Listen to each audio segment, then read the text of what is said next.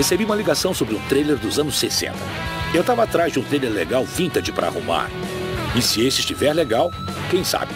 Talvez eu chegue para os caras e diga: Ei, vamos cair na estrada. O que é essa coisa? É um trailer Ford Econoline 1966 de super conversão. Com certeza tem cara de ser dos anos 60.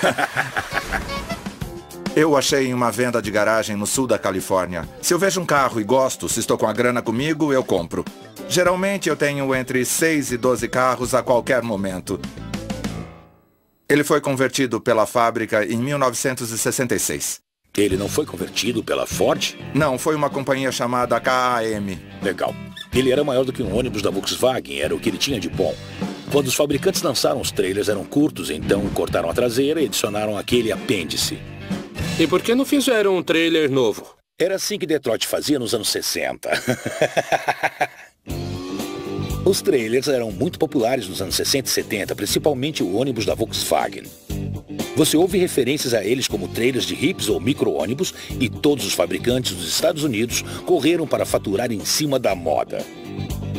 Essa foi a resposta da Ford. E essa coisa enorme em cima é o quê? É um sistema de ar-condicionado produzido depois. O ar-condicionado não funcionava bem? Ah, não, ele não vinha com ar de fábrica. Então, se quisesse ar-condicionado, eles instalavam para você. Como está a mecânica? Ele corre bem, é bom de dirigir. Na verdade, é mais forte do que eu pensava. Eu tô procurando um projeto de garagem, sabe? Eu quero um trailer mais antigo. Tá sempre procurando um projeto. Podemos ver por dentro? Claro, claro. Fiquem à vontade.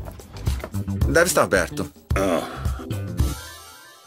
Legal. Uh. Pode entrar se quiser. Não precisa. Tem bastante espaço. Deixa eu ver esse negócio. Sabe, eles colocaram uma abertura em cima, você pode ficar em pé nele. Dá mesmo pra ficar Legal. de pé. Ô Rick, eu já vou dizendo que os armários precisam de uma geral. Talvez eles precisem ser refeitos. Acha que eu, você, o Corey e o velho podemos acampar com ele? Eu prefiro passar o fim de semana na cadeia. Quanto mais eu olho pra ele, mais eu vejo que esse não é o projeto que eu tô procurando.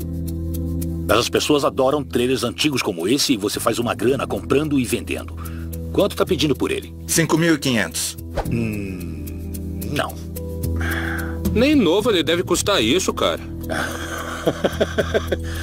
Olha, cara, eu nem vou fazer uma oferta. Não é o que eu estou procurando e, francamente, tem muita coisa pra consertar.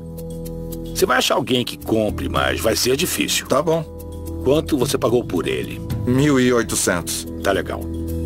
Mas eu investi mais uns mil dólares nele. Espero que recupere o seu dinheiro. Obrigado. um bom dia pra você. Obrigado. Eu discordo um pouco porque, com um interior novo, eu acho que ficaria muito divertido. Com certeza eu vendo em algumas semanas.